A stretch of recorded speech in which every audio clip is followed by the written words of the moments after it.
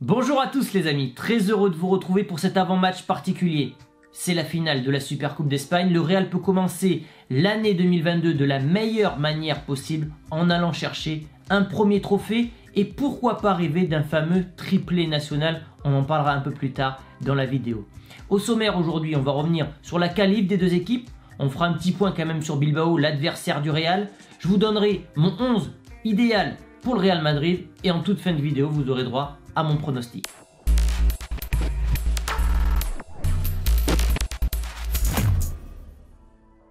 La vidéo les amis est sponsorisée par OneFootball, l'application numéro 1 sur le foot. Vous retrouverez de tout dessus, tout sur l'actualité du football espagnol, la Liga, la Coupe du Roi et surtout ce qui nous intéresse, la Super Coupe d'Espagne avec les compos, les alertes buts et surtout les articles personnalisé. Je vous mets le lien en description, c'est 100% gratuit. On va passer à la qualif des deux équipes. Donc Bilbao s'est qualifié à la surprise générale hier soir contre les Colchoneros de Simeone, 2 buts à 1, alors qu'ils étaient menés 1 à 0. Petit mot sur l'Atlético Madrid qu'on attendait en finale du coup contre le Real. C'est vrai que certains annoncent la fin du Turismo, son football n'est plus en adéquation avec le temps actuel qui prône le gegenpressing, le jeu vers l'avant, la verticalité, le jeu offensif, le spectacle. Lui se contente d'un football minimaliste, très défensif, attentiste. Les joueurs ne sont plus motivés, notamment Joao Félix, certains joueurs comme ça qui ont énormément de talent. Et quand on regarde ce 11 de l'Atlético, c'est un véritable gâchis de voir le football qu'ils proposent. Que va faire ce club? Est-ce qu'ils vont prendre un virage différent l'année prochaine? On verra. Et Bilbao qui pourra donc défendre son titre. Rappelez-vous, l'an passé, ils avaient gagné le Barça en finale de la Super Coupe d'Espagne avec notamment cette exclusion de Lionel Messi. Bilbao, c'est une équipe particulière. Elle ne va jamais jouer le titre, cette équipe, mais sur des coups, sur des coupes, comme la Coupe du Roi, comme la Super Coupe d'Espagne, c'est une équipe qui est souvent présente. À se méfier donc. Le Real, quant à lui, a éliminé le Barça au terme d'un classico absolument prodigieux, sûrement l'un des plus beaux qu'on ait assisté ces dernières années. Dans la difficulté, puisque c'est allé jusqu'aux prolongations, Vinicius est sorti à cause de crampes. Est-ce que le Real, justement, va payer cette fatigue en finale? Vous verrez ça dans mon pronostic. Les enjeux, le Real peut gagner sa 12e Super Coupe d'Espagne. Je rappelle que c'est le Barça qui est recordman de cette compétition avec 13 victoires, Messi étant le meilleur buteur avec 14 réalisations. Bilbao de son côté a fait 5 finales de Super Coupe d'Espagne avec 3 victoires, 2 défaites, un bilan plutôt partagé, mitigé, mais c'est une équipe qui sait gagner contre les gros, on l'a vu l'année dernière contre le Barça. Leur saison est plutôt moyenne pour le moment, les hommes de Marcelinho sont 9e du championnat à 4 points du Barça, et donc ils peuvent réussir leur saison s'ils arrivent en l'espace de deux matchs à battre les Colchoneros, c'est fait, puis à battre le favori de la compétition, le Real Madrid. Ils n'ont pas le meilleur 11 d'Espagne, mais ils ont une équipe plutôt homogène et avec une colonne vertébrale qui est assez solide. Dans les cages, Unian Simon, voilà, il est le gardien de Bilbao depuis des années, il a joué avec la Roja, bref, c'est un gardien d'expérience qui est fidèle à son club et qui est surtout régulier dans ses performances. Ils ont leur capitaine évidemment Mounien qui est un peu sur la pente descendante maintenant, il approche la trentaine, il n'a plus les mêmes performances que lorsqu'il avait 20 ans, mais ça reste un joueur qui est constamment recherché par ses coéquipiers. Et le Real devra absolument se méfier de leur buteur phare Iñaki Williams qui vient de prolonger avec le club de Bilbao jusqu'en 2028. Sa cote est d'environ 25 millions d'euros. Il n'a pas un très bon ratio match-but parce qu'il a 300 et quelques matchs pour 72 buts. Le Real devra s'en méfier énormément. Sa puissance son endurance, sa capacité à prendre la profondeur et sa finition sont des armes létales côté Bilbao. On va passer les amis au 11 du Real Madrid. Dans les cages, Thibaut Courtois, il est indéboulonnable. On aurait pu penser à un moment donné que Ancelotti donnerait un peu de temps de jeu à Lunin. C'est une super coupe d'Espagne, mais t'as Classico, là t'as une finale, tu peux aller chercher ce premier trophée. Il ne prendra aucun risque Courtois sera titulaire. Au niveau de la défense, il y aura un changement majeur. C'est Carvaral qui va sortir.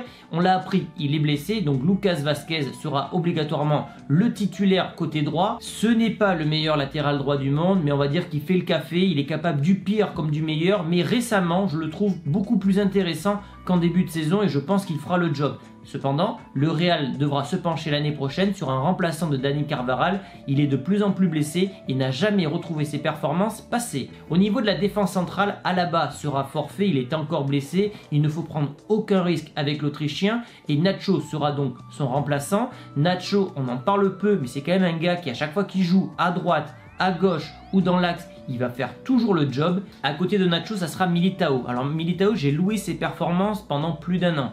Mais depuis la trêve hivernale, il a fait cette boulette contre Etafé qui a coûté la défaite au Real Madrid. Il a été responsable sur les deux buts du Barça euh, cette semaine.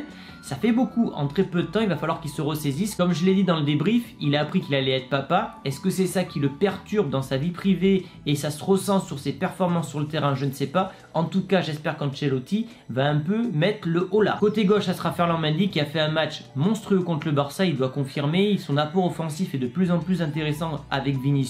Et surtout, derrière lui, il n'y a personne. Marcelo est à la cave et Gutiérrez est avec le Castilla. Au niveau du milieu de terrain, ça sera un secteur très important puisque le Real devra contrôler le jeu, contrôler le tempo de cette rencontre. Et qui de mieux que les trois légendaires?